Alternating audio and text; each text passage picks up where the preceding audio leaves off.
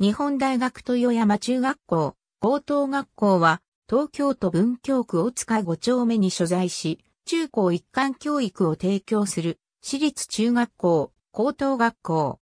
高等学校において、中学校から入学した内部進学生徒と高等学校から入学した外部進学生徒との間で、高等学校第2学年から混合して、クラスを編成する併設型中高一貫校。通称、日大豊山、豊山。現在、日本大学の系列校で唯一の男子校である。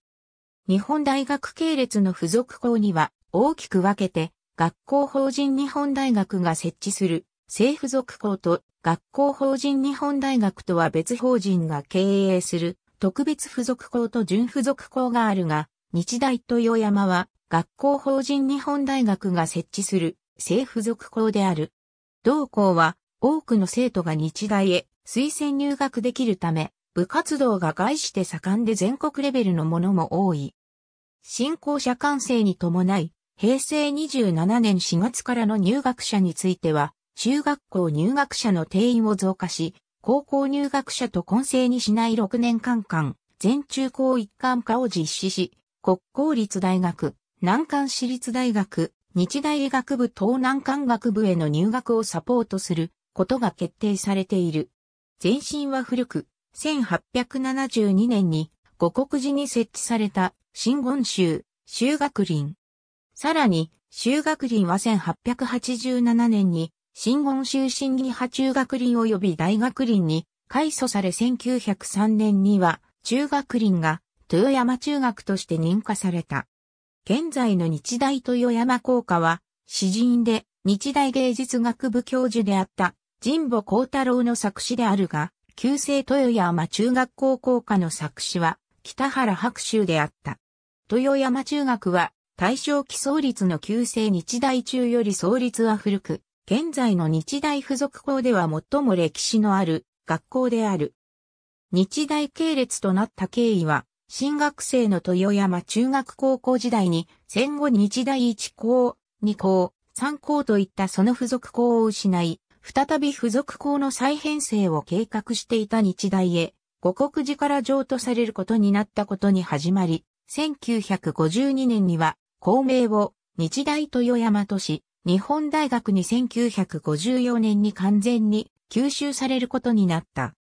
この時、五国寺側から豊山の校名は必ず継承するよう要望があったことで、日本大学一貫後の現在も豊山中学高校の名は受け継がれている。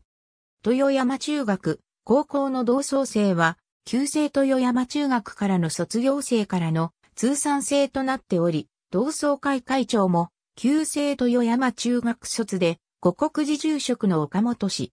豊山中学、高校の歴史の中では、定時制課程も併設していたが1970年に募集が停止され、1976年には廃止された。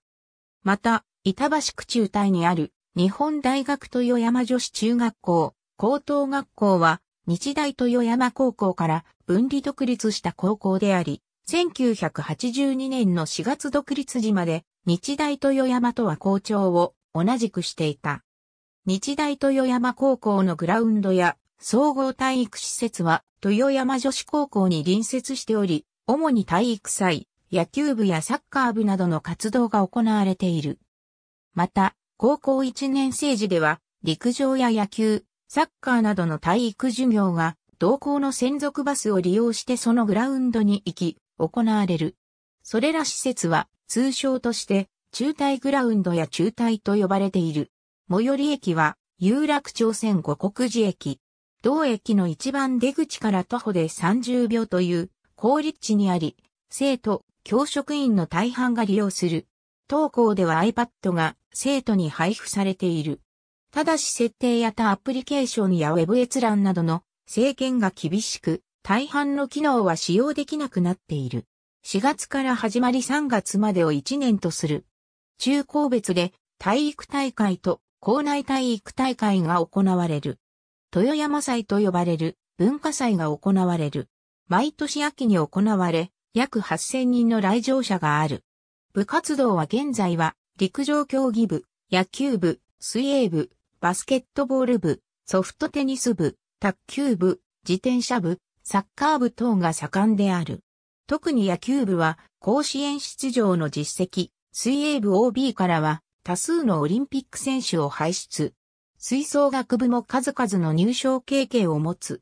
同校出身のオリンピック選手は関係者一覧を参照。ありがとうございます。